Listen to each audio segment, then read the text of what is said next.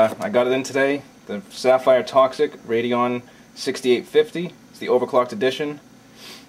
Um, the box is uh, pretty nice. It's got it's pretty shiny. On the side here, just tells you again what it is, 6850. And then on the back, it just goes over some of the highlights of the card, uh, some of the awards from Sapphire. bottom gives you specifications and that's about it.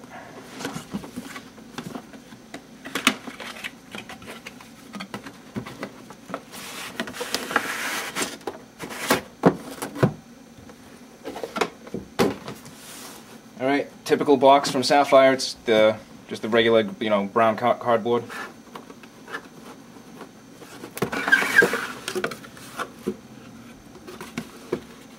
All right, inside right in the top, they give you the nice styrofoam to keep the card locked in place. And they put it in kind of like a anti-static bubble wrap. So here it is, the Sapphire Toxic Edition. It's got a nice chrome, you know, design here. Card's uh, kind of like a matte black finish to it. It's got some light gray or blue here. Uh, on the front here, you got two mini display port, one HDMI and two DVI, and then the cooling coming out of the back of your computer case. On the top here, you got two 6-pin power adapters, or uh, I'm sorry, two 6-pin power plugs for um, you know a little more headroom on overclocking. Uh, there's no you know no ventilation in the back, so when the fan spins, it's blowing all the way through, coming out the back side of the card here.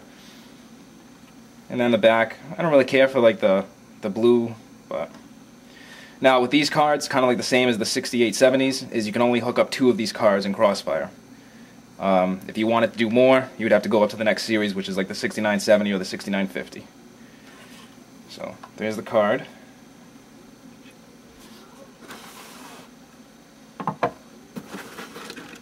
And then underneath, they give you another box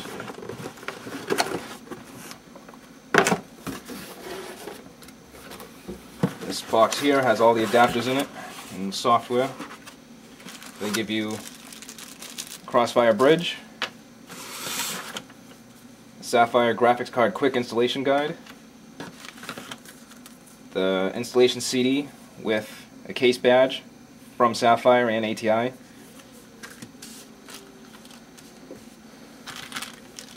You get the DVI to VGA adapter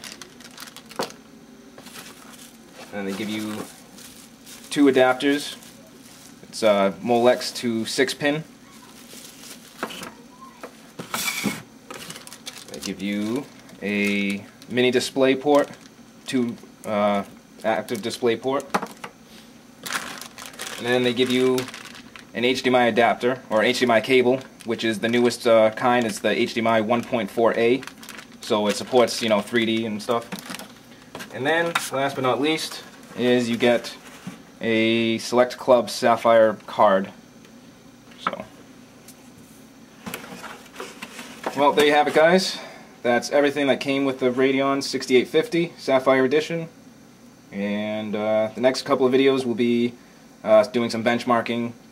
And uh, there's also uh, uh, an SSD drive coming in. So, you know, stay tuned for that one. So I'll see you guys later.